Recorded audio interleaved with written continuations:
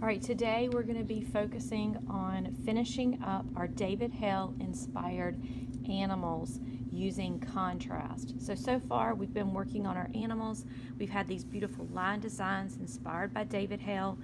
We've got something embodied in our animals that reminds them of something they're seeing or feeling inside of them. And likely you've already trimmed this out. If not, you're going to carefully trim out animal and then you can set that aside because we're going to focus on this graphic colored background. To contrast all those organic shapes, we're going to focus on geometric shapes. When you do this, you could use a ruler if you'd like. You don't have to.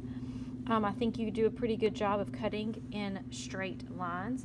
But if you wanted to use anything that was circular, you might want to take, like I used the lid of this yogurt container or a bowl or maybe a water cup or something like that. I like to use a circle when I'm doing this as well as some straight edges. So this is what I'm using my pencil for right now, is just to simply trace around this circle and I'm going to go ahead and cut this out so I can see maybe some extra things that I could, areas that I'll be using with those straight lines in a second. So I'm going to carefully trim this out. I'm going to try to do this in one cut. And notice if I'm using this hand right here to rotate, it does a little bit better of a smooth cut than when I was just trying to cut straight down without turning it. So with my non-dominant hand, I'm spinning my paper around. That helps to get that nice smooth cut.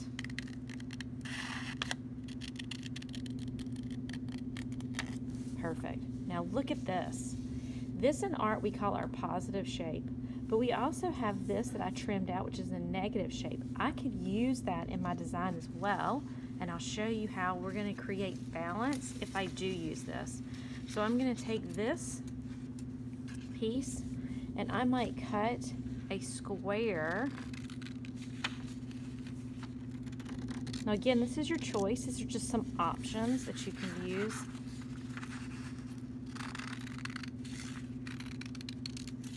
Okay, this could be a piece that I'll use. This could be a piece that I'll use. Now over here, I might cut out a triangle by making a straight cut. And maybe I want to cut out another strip here. And then maybe I'll make another square. Make another square here. I'll using this corner edge right here.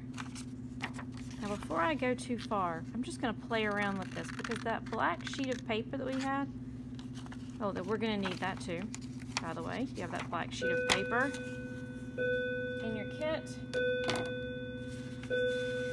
Okay, I'm going to take this black sheet of paper. I'm going to lay this down, and this is where we're going to start playing around with our pieces. I want you to focus on balance as we're doing this. So let me grab out all these pieces, and I'm going to go ahead and go ahead and get this sheep, my animal right here, and I'm going to go ahead and lay it down. Now these colors are going to be in my background. Because again, my focus is the contrast is going to pop my animal. And this graphic background adds a modern touch. So as you can see, I use the negative space right back behind here and so I have this nice graphic pop between the black and the blue and I balance that by putting a little of that circle on the other side so it kind of balances in a visual way. And then I'm going to slide this maybe underneath here. And you can see when I do that, it creates a negative space right here. I can almost see another triangle.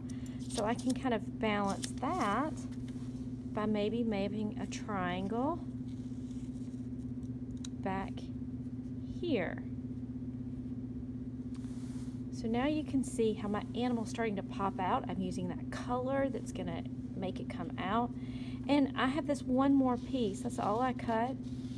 And maybe I'll just see if I wanna bring it in somewhere down here. Maybe I wanna pop some of those feet out right here.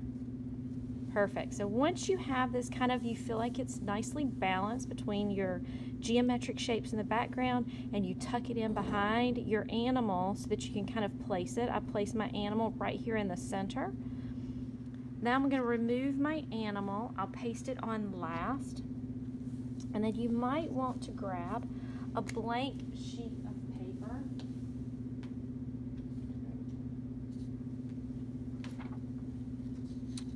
And then I'll work one piece at a time. So I'll take this piece and the blank sheet of paper is good because that way I can go right to the edge and it doesn't get on my tabletop surface.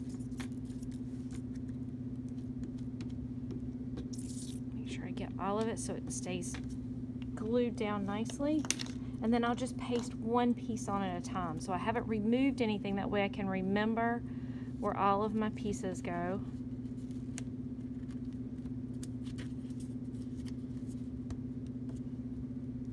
This piece is a little thin, I can work it.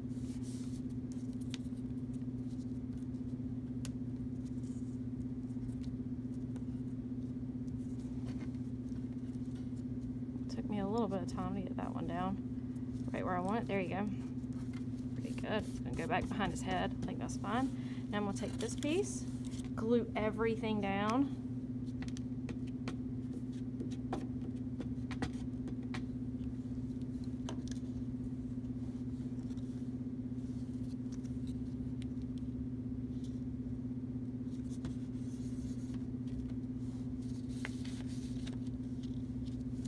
Kind of remember where that piece goes.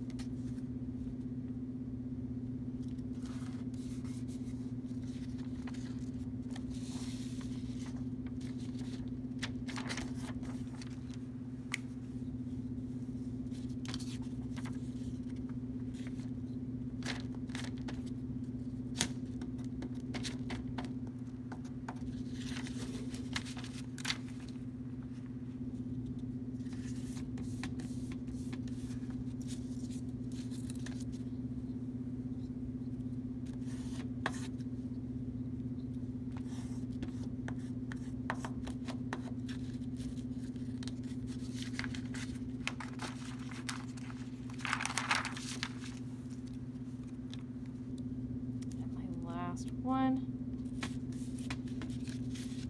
Then I can lay down my main inspiration here, the star of the show, my animal, and I'll just kind of move it so it gets right up there in that little piece that I just kind of messed up just a little bit when I pasted it down.